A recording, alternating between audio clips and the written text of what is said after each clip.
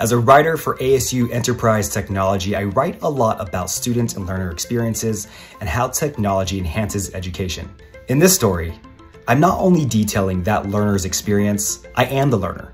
I'm diving headfirst into the course AI Foundations Scripting with Python to learn how to better command chatbots like ChatGPT. Now I'm a little nervous. I have very little experience coding and virtually none with the coding language Python, but I'm also really excited.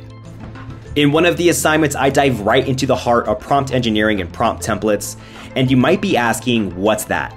Think of it as a blueprint that guides the AI system to respond to queries, or in other words, to questions.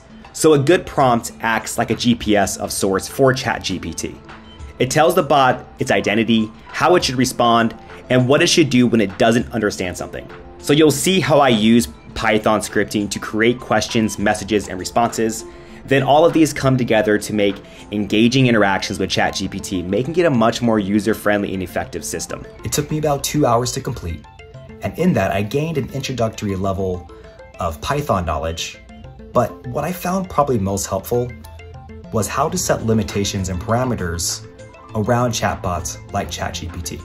So thanks for tuning in, and be sure to follow us on LinkedIn to stay ahead on how technology is shaping education.